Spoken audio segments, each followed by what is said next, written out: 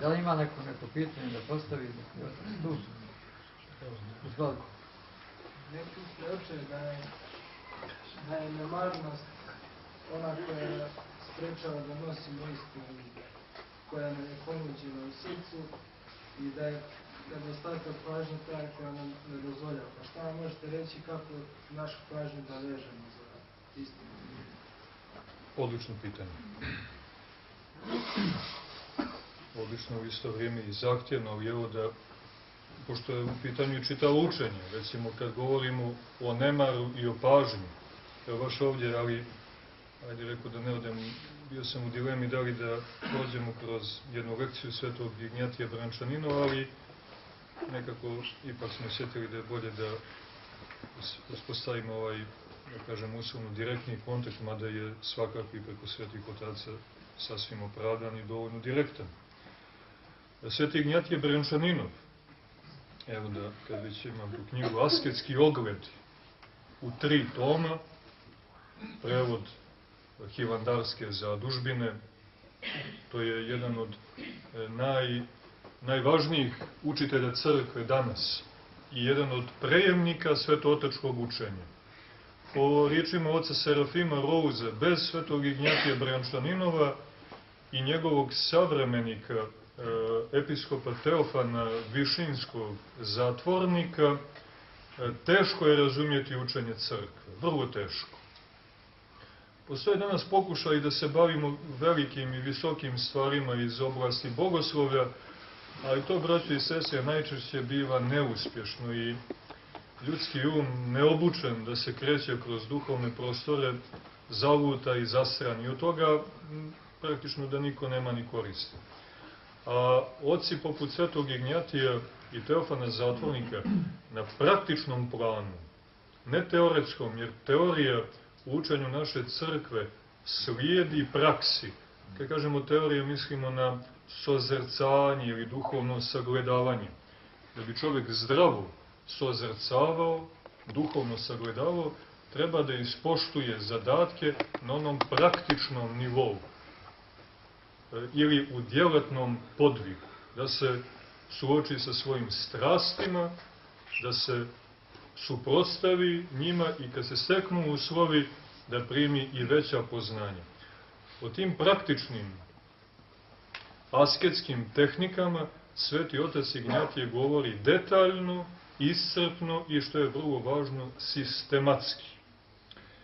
Istina, njegovo učenje, nažalost, više nije toliko lako, obzirom da imamo sve više navijača i oni koji se e, nalaze u sportskim kladionicama, hollywoodskim radionicama i drugim e, mjestima gdje se nadahnjuju duhom ovoga svijeta, nažalost, ovo učenje njima će, ukoliko se ne trgnu i ne pokaju, biti zauvijek tuđe.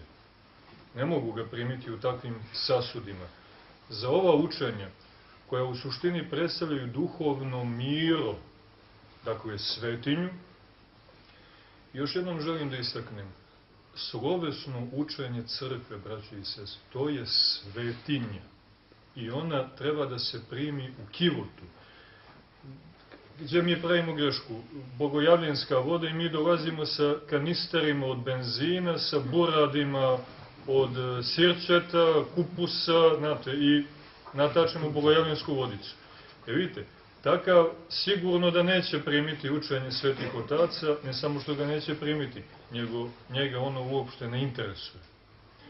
A onaj koji hoće da ga primi, on mora ozbiljno da se pripremi, mora iznutra da očisti svoj sasud.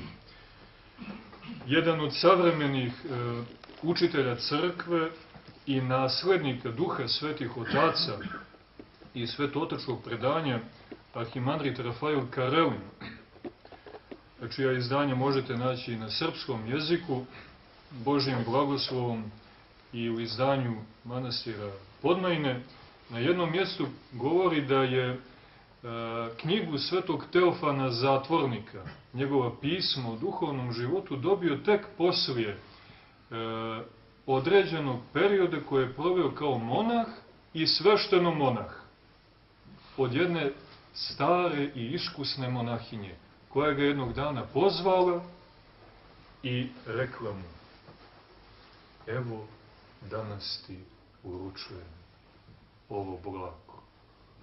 I dala mu je knjigu duhovna pisma, odnosno pismo o duhovnom životu svetog Teofana zatvornike, jer je procijenila da je postao sposoban da primi to miro u svoj sasud, duhovni, umno-srdačni sasud.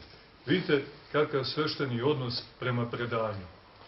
A na nekim drugim mjestima, e, sveti oci, recimo u Valamskom manastiru, neke knjige ne čitaju, nego samo cijelivaju, kao svetinju. A sadržaj prevazilazi njihov duhovni nivo. Oni ih se ne odriču, nego ih cijelivaju kao mošti. Zato, da bismo se upoznali sa učenjem naše crkve, a to je jedan od razloga zašto sa njim nismo upoznati, jeste način našega života.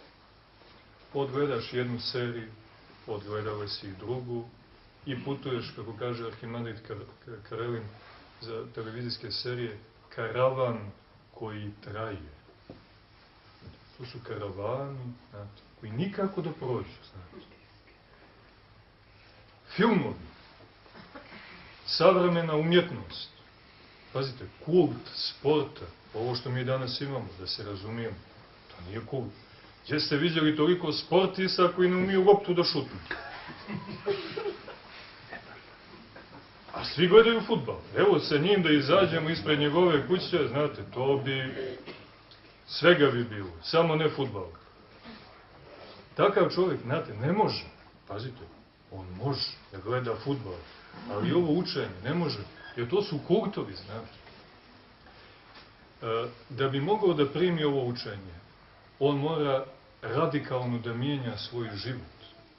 Jer primajući ovo učenje, on prima onoga koji je poslao ove učitelje. A između ostalog da ispoštujemo i brate i njegovo pitanje, postoji učenje o pažnji. Kod svetog Ignjatija Brančaninova imate lekcije o pažnji. Šta je to pažnja i koje vrste pažnje imamo? Ali, Da biste vi saslušali svetog Ignjatija Brenčanina, vi mora da odvojite vrijeme i da dođete ponovno. Jer ne može vam sve odmah reći. Danas ćemo govoriti o djelatnoj pažnji. A u sledećim susretima govorit ćemo o takozvanoj blagodatnoj pažnji. Šta je to djelatna A šta je to blagodatna pažnja? Koja su svojstva jedne, koja druge? Koji su neprijatelji i prve i druge? I koji su plodovi prve i druge? Pazite, učenje o pažnji. Onda o nemaru. Imam učenje o nemaru. Šta prouzrokuje nemar? Čemu vodi nemar?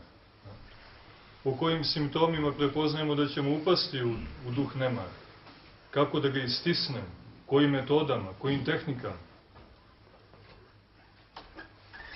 Evo da ti navedem i tebi i sebi da ponovim i brati i prenesem, kad smo pitali od Rafaela, nedavno ga posjetivši u Svetoj Gruziji, pa oče, mi živimo u gradovima.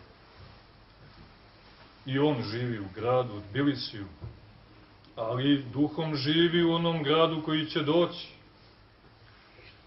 Pa mi vidjevši na njemu taj mir, a poželjevši sami da ga imamo, pa ga pitam, oče, i mi živimo u sličnim uslovima, ali nemamo taj duh. Kako se on stiče? Kako da vežemo svoj um, svoje biće za Isusa Hrista?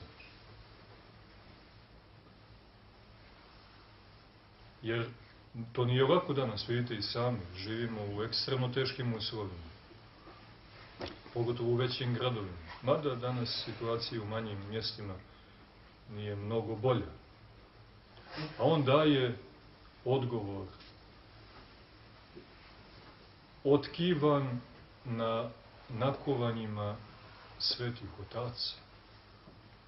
Kratak odgovor, ali dovoljan onome koji istinski pita. Pa kaže,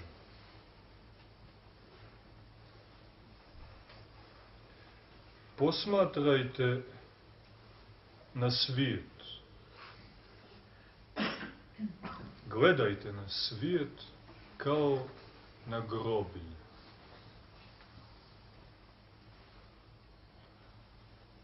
A na ljude gledajte kao na mrtvace.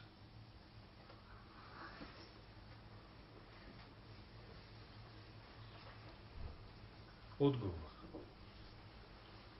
Oče, ovo ide ispod teksta. Oče, ako si stvarno pitao, dobio si odgovor. A ako nisi pitao, onda me nećeš razumjeti. I vjerujte, e, pazite, ovo je sad već e, jedan metod asketski na koji baš nismo navikli. Neki bi se i sablaznili, znate. Od hrišćana koji žive u močvarama duševnost. To je za njih pretvrdo.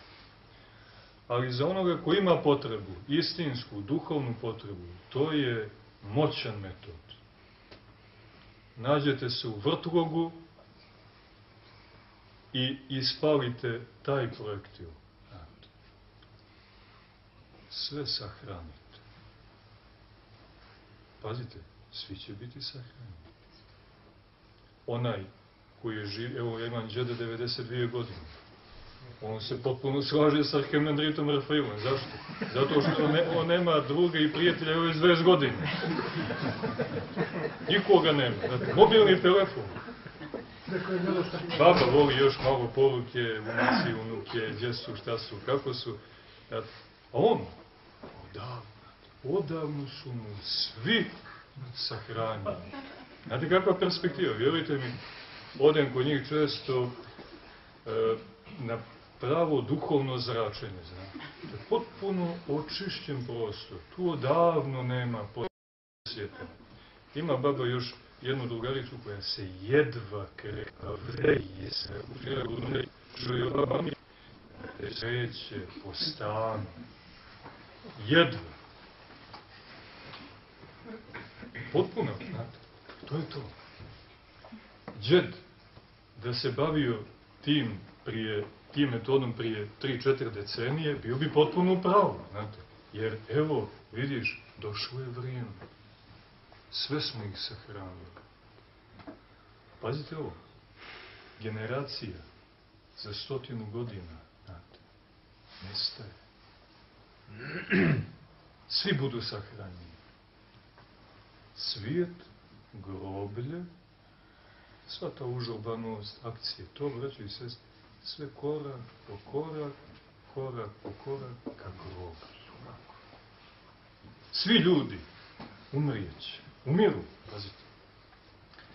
A vi imate pouku, pazite kako je to jaka, moćna pouka. Vi samo premotate film unaprijed, iz te gužve, iz te, iz te dreke, vreve, brzine, samo premotate malo unaprijed i vidite da se sve to umirilo. Znate. Svi su legli i postaje ona grobljanska tišina. I sa tim iskustvom, a to su sposobnosti uma koje treba razvijati, vratite se u centar i u jezgro vrtloga, u oko oluje, kako kaže brat Nebojša za, za Vaznesenski hram u Beogradu. I ostao vam je zvuk, odnosno trag grobljanske tišine. I govorite, Gospode, Isuse Hristo, Sine Boži, pomiluj me grešno, jer On jedini ne umire. Jednom okusio smrt radi svih nas i ustao za uvijek. Na svim tim grobljima, braćo i sestre, i među svim tim ljudima, samo On može da te čuje. Samo njemu može da se obratiš kao besmrtnim. I eto, vidite, funkcioniše. I stvarno, probajte. Naravno, potrebno je da se steknu određeni uslovi da bi sistem profunkcionisao, ali i tekako može. To je samo jedan od moćnih metoda kojim raspolaže naša crkva.